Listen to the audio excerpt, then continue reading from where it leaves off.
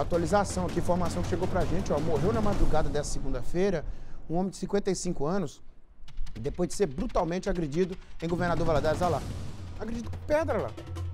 De acordo com a polícia, um bloco de pedra foi utilizado para bater na cabeça da vítima. Até então, era uma tentativa de homicídio. O caso evoluiu para homicídio, né? Morreu na madrugada, né? Quem vai contar sobre isso é o Miguel Braz. É, Miguel, aparece na imagem ali a pedra. Amigo, eu falava aqui com o Marcos.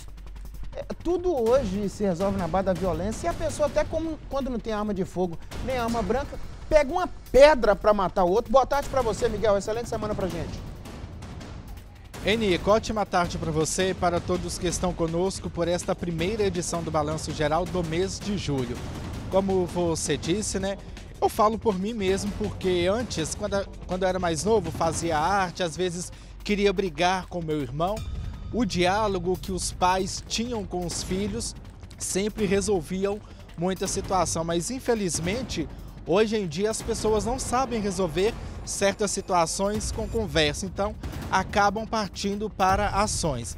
Mas vamos lá, essa, este caso aconteceu na rua Vereador Omar Magalhães, no bairro de Lourdes, no último fim de semana.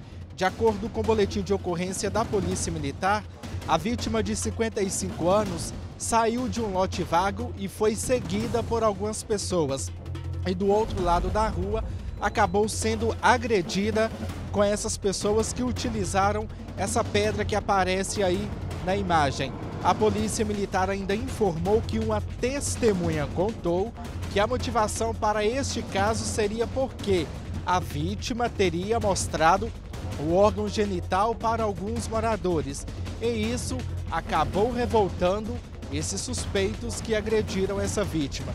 O homem chegou a ser socorrido para o hospital de Governador Valadares, bastante ferido, ensanguentado, foi direto para a sala de emergência, mas acabamos de receber a informação que ele morreu na madrugada desta segunda-feira. Portanto, Nico, os agressores já foram identificados, mas até o momento não foram encontrados pela Polícia Militar. Eu volto com você, Nico.